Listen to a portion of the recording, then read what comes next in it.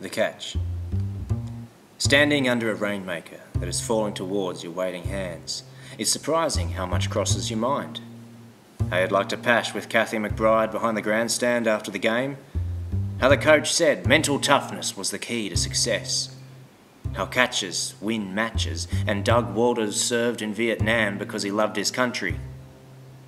How if your marks don't improve, you won't be allowed to play cricket again for the rest of summer.